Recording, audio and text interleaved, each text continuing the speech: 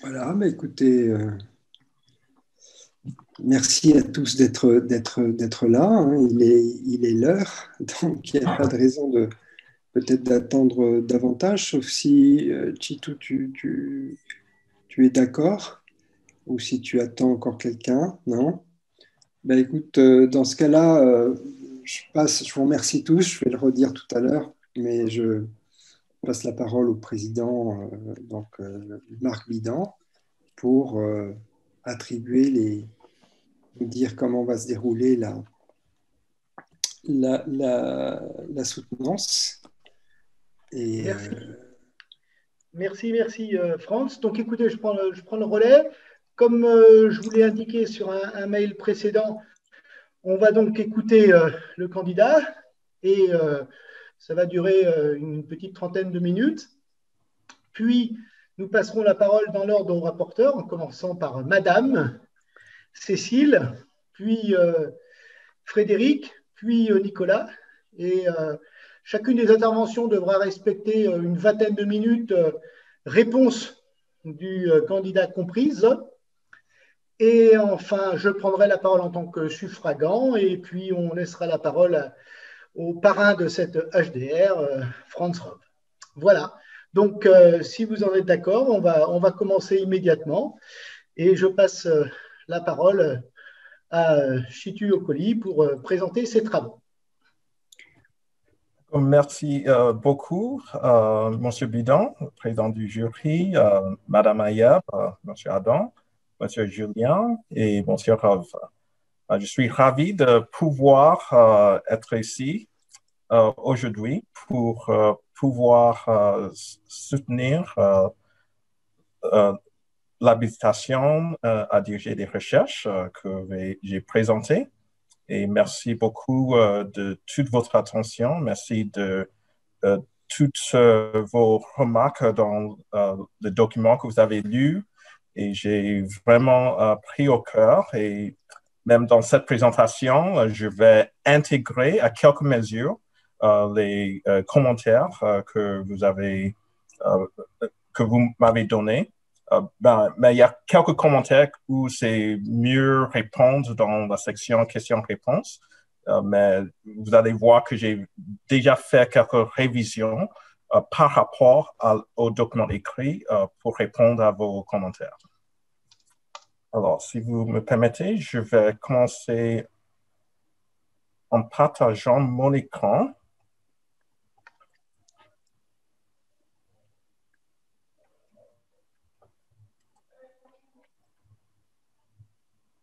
Ici, ce moment.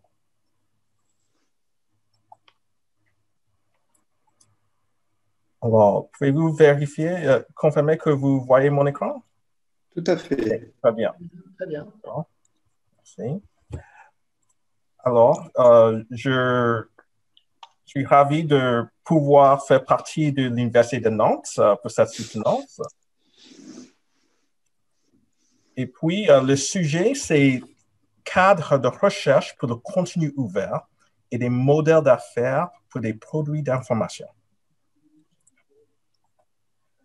Alors, je commence euh, avec euh, une biographie professionnelle avant que je présente la structure euh, de cette présentation de 30 minutes.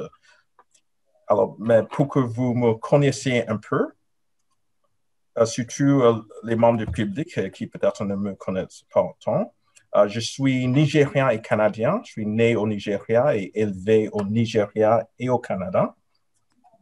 puis, euh, j'ai fait mes études euh, universitaires aux États-Unis. Euh, j'ai fait l'informatique à Louisiana State University et avant la carrière universitaire, j'étais analyste en informatique et administrateur des ressources humaines aux États-Unis.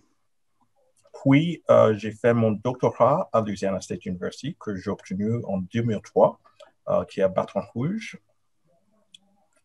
après, de 2003-2017, j'étais professeur, professeur assistant, professeur associé euh, à Concordia University à Montréal, au Canada. J'ai obtenu la permanence, euh, c'est-à-dire l'agrégation ou tenure, en 2010. puis, depuis 2017, je suis professeur en digitalisation à Scama Business School Paris. Et j'ai commencé comme professeur associé, mais depuis janvier 2020, je suis professeur titulaire à Scama. Et juste pour résumer en gros, parce que je vais parler plutôt de mes recherches dans cette présentation, mais du côté enseignement, au Canada, j'ai donné des cours en gestion de bases de données, développement de, sites web, analyse et design de systèmes d'information, euh, qui sont un peu plus techniques du côté système d'information. Euh, mais ici, à Schema, en France, euh, je donne des cours en méthodologie de recherche, intelligence d'affaires et gestion des systèmes d'information. Alors, pour donner un plan d'ensemble de cette présentation, je vais expliquer euh, tout d'abord que je sais que le format ou la structure euh, du document d'HDR est un peu atypique. Et c'est parce que j'essaie de mélanger une perspective rétrospective pour regarder ce que j'ai déjà fait dans ma carrière, mais plutôt prospective, ce que je peux faire euh, dans les années à venir. et la raison que j'ai euh, choisi ce format, même si j'ai étudié plusieurs euh, documents d'HDR euh, pour regarder les formats, et parce que je voulais pas seulement présenter ce que j'ai fait, je le fais, mais c'est un peu plus sommaire, mais c'est parce que je veux vraiment recevoir vos remarques et vos commentaires, ce que le membre de jury m'ont déjà donné, qui sont très précieux. C'était justement pour ça, pour pour euh, éliciter des commentaires pour que je puisse bâtir des recherches à venir. Pour ça, j'ai montré des recherches que j'ai déjà commencées, mais je sais que ne sont pas très bien euh, solidifiées, mais avec ces commentaires, euh, j'espère pouvoir l'améliorer. Et le deuxième but est vraiment pour inviter votre collaboration, parce que ce n'est pas par hasard qu'on euh, que M. Rove euh, et moi, on sélectionné des membres du jury. Euh, nous espérons que j'aurai piqué votre intérêt pour voir où vous pourrez collaborer si c'est possible. Alors, dans cette présentation, je vais présenter mon profil de chercheur, et ça, c'est l'aspect plutôt rétrospectif, avec mes axes de recherche, la qualité des publications, et mon encadrement des étudiants jusqu'à maintenant. Et du côté plutôt prospectif, euh, je vais présenter le projet de recherche euh, sur le contenu ouvert. Euh, je vais résumer mes publications dans le passé jusqu'à maintenant. Et puis, je vais présenter le cadre ou les cadres de recherche à venir. Et je vais préciser un peu plus. il y a au moins deux grands cadres. la définition les catégories d'œuvres euh, et les modèles d'affaires ou modèles économiques pour le contenu vert. Et puis, je vais conclure euh, cette présentation. Alors, pour, euh, je commence avec le profil de chercheur pour me montrer un peu en tant que chercheur. Et j'ai eu plusieurs axes de recherche et je vais présenter euh, axe par axe. Je commence par les applications d'Internet dans les pays en développement. Ça, c'est euh, euh, mon premier grand axe et ce qui a mené à ma thèse doctorale. je, me suis concentré surtout sur la commerce électronique. Et la première citation là, en 2003, ça c'est ma thèse doctorale, qui traitait des des évaluations des experts en l'Afrique subsaharienne euh, du côté d'infrastructure et de culture. Ce sont les deux côtés que j'ai vraiment euh, étudiés. Euh, et après ma thèse doctorale, j'ai étendu des recherches en Amérique latine, un peu la même chose. Et les publications, surtout les publications dans European Journal of Information System, intégraient les deux. Euh, alors, il est allé au-delà de euh, ma thèse doctorale. J'ai acheté des études euh, sur la Latine-Amérique. Mais puis, j'ai aussi étudié la télémédecine, c'est-à-dire la médecine à distance. Et j'ai commencé quand c'était quelque chose un peu nouveau. maintenant, si tu avec COVID-19, il devient plus routine. Euh, mais j'ai étudié cela en Afrique, euh, situé en Éthiopie avec mes collaborateurs là. J'ai déjà fait des présentations à UNESCO, euh, à Addis Ababa, dans le cadre de ces recherches. D'accord. Alors, un autre grand axe sont les méthodologies de recherche. Et en effet, je, je, ne suis jamais débuter pour étudier des méthodologies, mais c'est en, euh, en menant à bien des projets de recherche quand je suis vraiment plongé pour mieux comprendre ce que je faisais, que je suis allé au-delà d'un projet donné pour vraiment même améliorer des méthodologies euh, à utiliser de manière que je pourrais partager mes résultats et mes apprentissages avec d'autres chercheurs. Et euh, en effet, euh, mes publications euh, les plus citées sont dans ce cadre, euh, surtout la première, la méthode Delphi. et ça, c'est intéressant parce que c'était mon intention au début pour ma thèse doctorale à utiliser cette méthodologie, mais finalement, j'ai changé d'idée, mais j'ai publié mes études sur la méthodologie et elle est devenue une citation très bien citée en Information Management. J'ai, euh, depuis 2010, j'ai fait aussi des études euh, sur les revues de la littérature. Et ça, c'est dans le cadre de, euh, de accomplir une revue de littérature sur le Wikipédia. Et je suis vraiment plongé dedans. Et depuis, je continue à faire des recherches dans ce sujet. Et ça, c'est l'un des mes cas de recherche les plus actifs actuellement.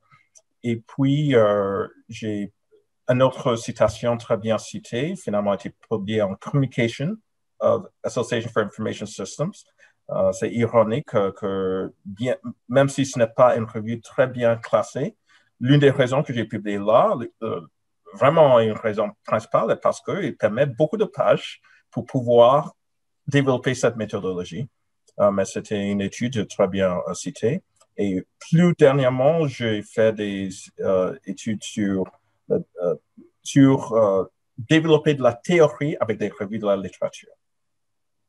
Et euh, ce sont dans les documents de travail. J'ai un, article dans ce cadre qui est dans le deuxième rond de révision European Journal of Information Systems et j'en ai deux autres qui seront bientôt soumis pour publication.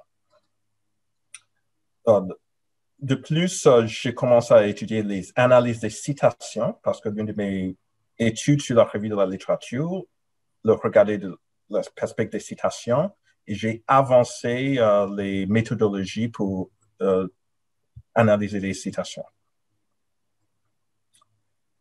Puis en plus de ces grands axes, mon plus grand axe jusqu'à maintenant, c'est le contenu ouvert, mais je vais présenter mes recherches là tantôt. Euh, quand je présente ce cas de recherche. Mais il y a d'autres sujets divers. Euh, il y a le sense making. J'ai déjà publié quelques articles euh, dans ce sujet en European Journal of Information Systems, IEEE Transactions and Software Engineering, et il y a un autre qui est en revue. Et ça, c'est dans le cadre des publications d'un doctorant que j'ai supervisé, Moussafa Meskari. Puis, euh, j'ai fait des recherches, euh, ça, euh, déjà peut-être plus que 15 ans, presque 15 ans, sur la stratégie concurrentielle avec Internet. Et ça, c'était vraiment lié à mes études au commerce électronique. mais ça, c'était, ce sujet était plus général, pas juste dans les pays en voie de développement. Je veux maintenant parler un peu de la qualité de mes publications des recherches. Euh, mais à la droite, euh, avant de parler de la qualité, je veux vraiment remercier mes co-auteurs qui m'ont aidé à publier parce que quand je présente des recherches comme ceci, c'est il a l'apparence que c'est moi qui l'en fais, mais c'est vraiment moi et mes collègues et je suis très reconnaissant à, tous ceux qui se montrent à la droite. L'une des perspectives de considérer la qualité des publications, c'est la perspective euh, des citations. Et euh, d'après Google Scholar, j'ai plus que 6500 citations, euh, dont deux articles qui sont cités, plus que 1000 fois. Et il y a cinq articles qui incluent les deux premières, qui sont cités plus que 100 fois. Et en total, j'ai 25 articles cités plus de 10 fois. Alors, cela montre que mes recherches, au moins, ont euh, trouvé un écho euh, chez des chercheurs et les euh, chercheurs qui publient eux-mêmes ont apprécié à quelques niveaux mes recherches. Une autre perspective de considérer la qualité des publications sont le, classement, la réputation des revues où sont publiées ces recherches alors, j'ai deux euh, articles en European Journal of Information Systems qui est classé rang 1 par CNRS. Euh, j'ai deux articles dans Journal of the Association for Information Science and Technology euh, qui n'est pas classé en CNRS, mais dans mes études sur le Wikipédia que je vais présenter tantôt, ça c'est probablement la meilleure revue qui est connue pour des recherches sur Wikipédia. Euh, c'est dans le domaine de euh, sciences d'information euh, plutôt que système d'information. J'ai publié en Journal of Association for Information Systems, Information and Management, IEEE, Transactions and Software Engineering, qui sont classés rang 2 dans le CNRS. puis, à le côté de nombre de publications par catégorie, j'ai 24 articles dans des revues évaluées par les, pairs, 29 articles en actes de congrès, 13 euh, documents de travail euh, non publiés ailleurs. Et ça, ils ne sont pas évalués par les pairs, mais cela montre au moins mon activité en cours et puis, euh, il y a six autres présentations en conférence qui ne sont pas des actes de congrès. Par exemple, j'ai présenté, euh, comme je dis, à UNESCO, j'ai présenté euh, euh, au gouvernement du Canada mes recherches euh, sur des études pour les, les, contributions pour les pays en voie de développement, même s'ils ne sont pas évalués par les pairs. Puis, euh, j'arrive maintenant à l'encadrement des étudiants, qui est très important dans le contexte euh, de l'habilitation à diriger des recherches. Euh, jusqu'à maintenant, j'ai supervisé et diplômé un doctorant qui, j'ai déjà mentionné Mossara Mesgari. Il est actuellement professeur à Loyola Marymount University. Et un peu la qualité d'encadrement peut d'un côté, ben, je, ne peux pas euh, prendre le crédit pour son excellence. Euh, il est vraiment excellent, euh, mais la qualité d'encadrement peut se montrer un peu par les publications où sont menées, où sont arrivées sa thèse doctorale. L'un des articles a été publié en European Journal of Information Systems, un autre en IEEE Transactions and Software Engineering. Et puis, euh, il est aussi co-auteur avec d'autres publications. Euh, j'ai deux encadrements doctoraux actuels euh, qui sont le DBA, Doctoral Business Administration.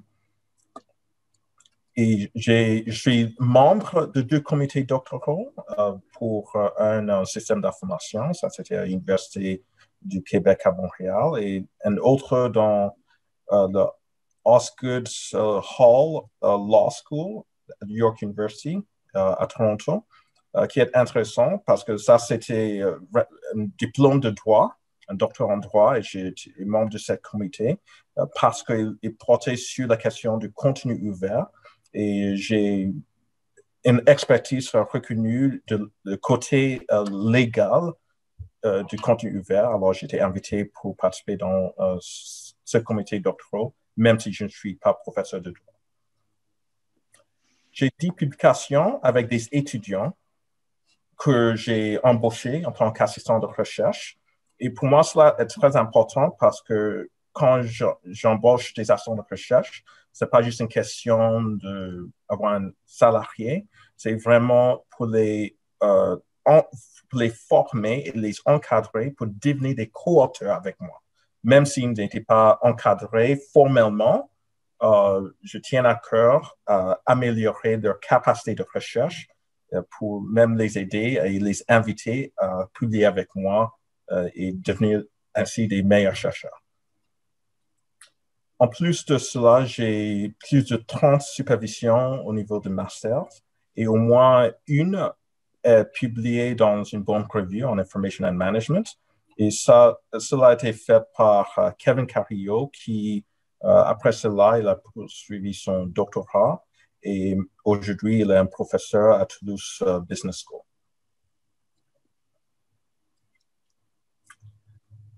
Alors maintenant, j'arrive au plus grand partie euh, de cette présentation, qui est le projet de recherche prospective sur le contenu ouvert. Mais je commence, Euh, je commence en présentant de manière très, euh, sommaire mes publications sur le contenu ouvert. J'ai fait des publications au sujet de logiciels libres et cela s'était situé avec Kevin Carrillo. Ça, cela a été le sujet euh, de ses études au niveau de master et aussi doctorat. Et puis, j'ai fait beaucoup des études dans le domaine de Wikipédia euh, qui a été publié dans plusieurs revues, surtout en, système, euh, en sciences d'information, mais aussi en système d'information, euh, comme j'ai deux articles en Information and Management à ce sujet.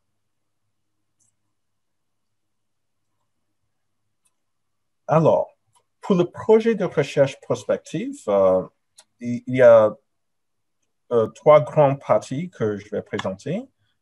premièrement, il y a la question de, euh, la définition du contenu ouvert. Et le contenu ouvert, euh, il faut commencer en considérant le logiciel libre parce que son origine se trouve là, euh, qui est le, logiciel où il y a deux perspectives, l'aspect vraiment libre, où les utilisateurs ont le droit parce que je, n'ai pas euh, mentionné un par un pour être euh, plus rapide, mais euh, l'idée des quatre libertés, en résumé, c'est que les utilisateurs sont libres à faire ce qu'ils veulent avec le logiciel. Et que et, que quand on crée un logiciel, on le partage avec la communauté pour que les utilisateurs peuvent l'améliorer et puis partager de nouveau avec euh, la communauté. Puis l'idée euh, du contenu ouvert est étendre euh, ce principe au-delà du logiciel à toute œuvre qui est assujettie au droit d'auteur. Et, et, cette idée du contexte, toute œuvre qui est assujettie au droit d'auteur, c'est important parce que, par exemple, les brevets ne sont pas, euh, ne traitent pas des choses assujetties au droit d'auteur, ce sont des idées. Mais le droit d'auteur traite des idées qu'on peut figer, euh, qu'on peut écrire, on peut dessiner, euh, même une statue qu'on peut former. Tant qu'il peut être figé, c'est assujetti au droit d'auteur et c'est aussi le contexte du contenu ouvert. Et il y a des raisons euh, légales pour restreindre le contexte à ces choses. Et je dis ça pour euh, parler, pour expliquer que les brevets et même les brevets ouverts ne sont pas la même chose. Ils ne touchent pas le contenu ouvert. Ils sont distincts euh, légalement. le, matériel ouvert, ce n'est pas la même chose. Alors, j'explique tout cela dans le document écrit. Mais pour la question des licences, euh, alors, pour la définition, j'ai euh, beaucoup réfléchi et considéré, et finalement, la définition euh, que j'ai développée, c'est le contenu ouvert se réfère à toute œuvre numérique pour laquelle le titulaire des droits autorise une redistribution en exemption de redevance, tout en imposant peut-être certaines conditions et en conservant certaines restrictions. Et euh,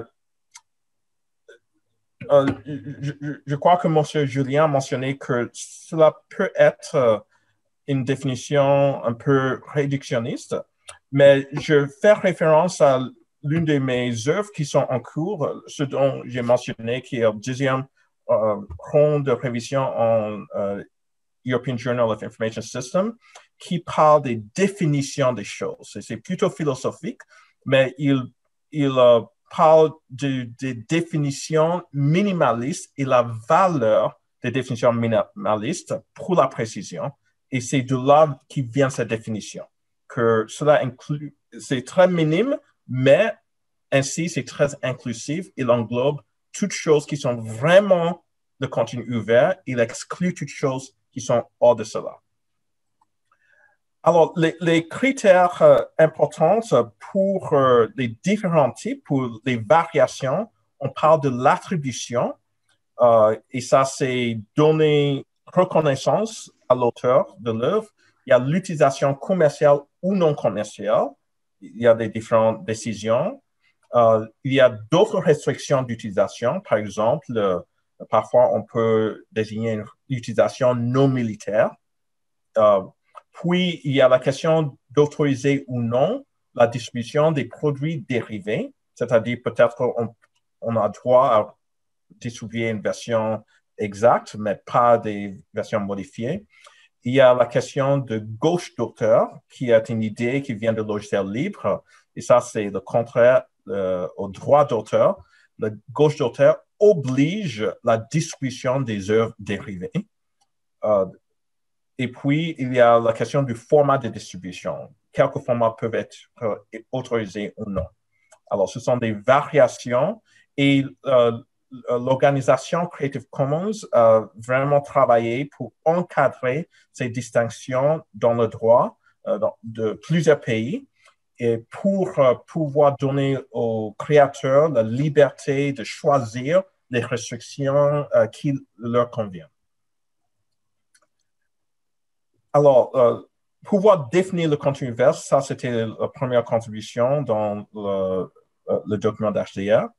Puis, euh, le premier grand cadre, c'est l'évaluation de qualité des œuvres de contenu ouvert.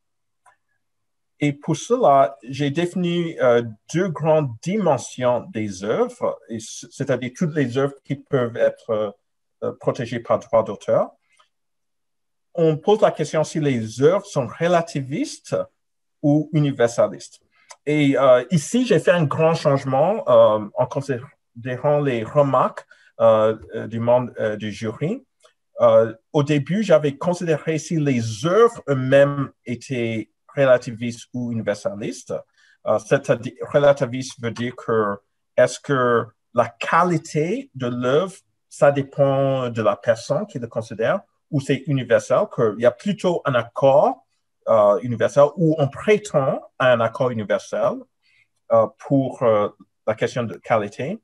Et puis, il y a des œuvres évaluées objectivement ou subjectivement. objectivement signifie qu'il y a des critères bien définis sur lesquels on peut discuter la qualité. Subjectivement, vraiment, chacun a ce qui lui plaît et c'est comme ça. Euh, et plutôt de considérer euh, les œuvres en telles où ils tombent dedans, comme j'ai fait euh, dans le document écrit, maintenant, je présente que pour chaque œuvre ou pour chaque catégorie d'œuvre, on définit les aspects qui tombent dans ces dimensions.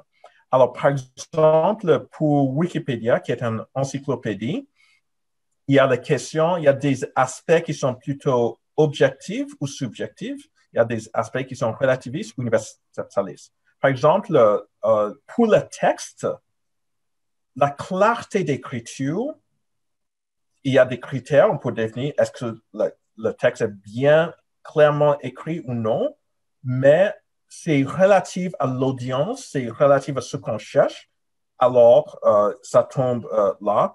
Les images, est-ce que les images sont utiles? Est-ce qu'ils ajoutent?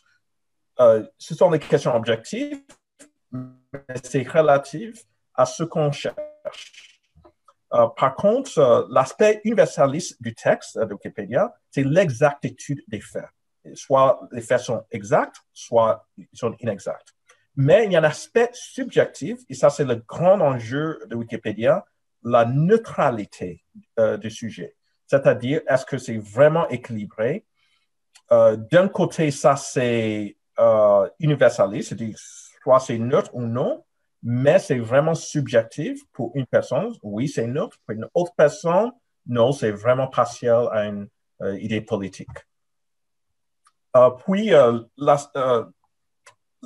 le sujet le plus controversé est les articles savants et scientifiques. Par exemple, dans le contexte de contenu vert, on parle d'accès libre. Et là, j'avais, euh, dans le document écrit, je l'avais mis euh, comme euh, dans la section d'opinion, c'est-à-dire universaliste et subjectif. Mais maintenant, j'ai, vraiment divisé les aspects de l'œuvre. Et puis là, c'est surtout parce qu'on considère une œuvre scientifique on le considère dans le cadre universaliste et objectif, c'est-à-dire on considère est-ce que c'est exact ou non. Mais je veux mettre l'accent sur l'aspect qu'il y a un aspect très important euh, pour qui est vraiment une question d'opinion. Et ça, c'est vraiment subjectif. C'est l'importance et la nouveauté de l'œuvre.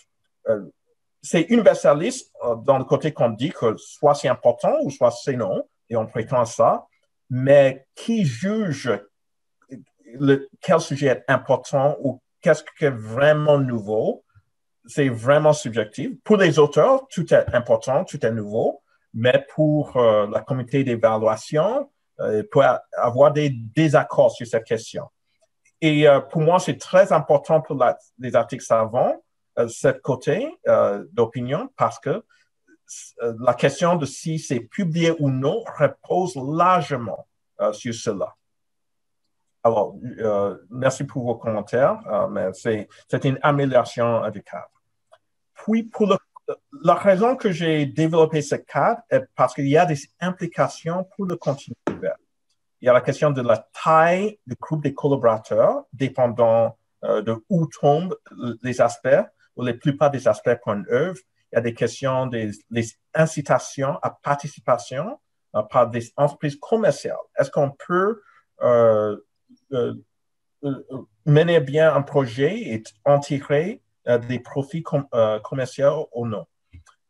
il y a des licences continuelles préférées pour dépendant de la prédominance d'un cadre, d'un quartier dans ce cadre ou non.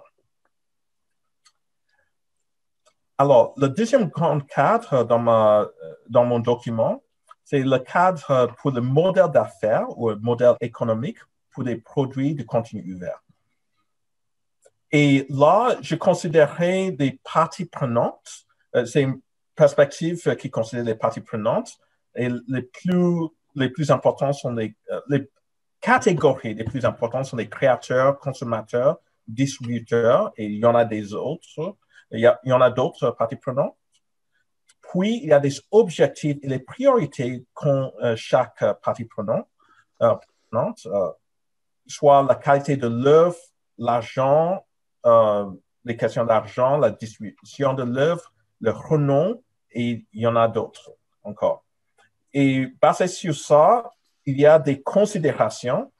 Et, mon cher Adam, j'ai bien tenu en compte votre euh, question que ces effets sont plutôt des présomptions et je, je dois avouer que c'est, je, je, commence vraiment là parce que c'est de l'optique de, ce sont des propositions de recherche euh, qui sont à vérifier. Mais pour les vérifier, j'ai déjà commencé cette œuvre, ce que je montre ici, avec des exemples concrets. Euh, il y a les exemples de Red Hat Linux, qui est dans le cadre de logiciel libre. Et il y, avait plusieurs questions sur si je veux me concentrer sur le contenu ouvert, pourquoi je reviens souvent sur l'analyse de logiciel libre. Mais tout simplement, c'est parce que j'ai besoin d'une base euh, très formelle pour euh, étudier le contenu ouvert. Euh, le logiciel libre est bien compris. Il y a beaucoup de théories sur ce sujet. Et quand j'applique mes nouveaux cadres pour le contenu ouvert, si les cadres sont valables pour le logiciel libre, ils peuvent être valables pour d'autres types de contenu ouvert. Et, c'est pour cela que je considère c'est vraiment, euh, c'est toujours important à analyser au début le logiciel libre avant d'étendre euh, la connaissance euh, aux autres contenus ouverts, parce que c'est ainsi qu'on peut voir les différences où le contenu ouvert est vraiment différent du logiciel libre et cela justifie le but de ces cadres qui étendent la connaissance. Alors, en euh, remarquant, euh, en étudiant le Linux de Red Hat, un cas particulier, euh, je, peux pas, je n'ai pas du temps pour expliquer tout cela, mais les, les carrés en, en, bleu sont ceux qui sont plus intéressants, où je trouve il y a des implications qui ne sont pas tout à fait évidentes. Et ici, c'est au niveau des créateurs que pour la question d'argent, pour le revenu et le prix, il y a des contributeurs à Red Hat Linux qui contribuent à la version euh, vraiment libre parce qu'il y a une version euh, payante et il y a une version gratuite. La version euh, gratuite s'appelle Fedora. Et puis, il y a des contributeurs à cette communauté qui contribuent leur logiciel, qui contribuent leur expertise pour développer le logiciel. Et ceux qui cherchent ils ne cherchent pas une euh, récompense euh, directe d'argent.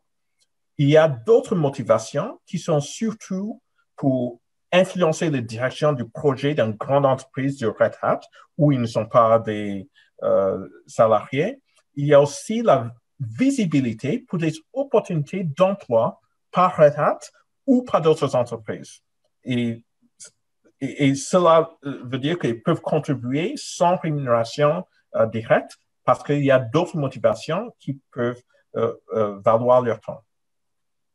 J'ai aussi euh, étudié avec ce cadre un cas spécifique, Jamendo, qui est une entreprise qui récupère et distribue la musique libre, c'est-à-dire les auteurs, les artistes leur donnent leur musique et pour quelques musiques, c'est libre pour tout le monde à distribuer, mais pour beaucoup de musique, c'est seulement pour les licences euh, non commerciales. Si pour une utilisation commerciale, il doit payer euh, les droits à Jamendo, et Jamendo le partage 50-50 avec euh, les artistes.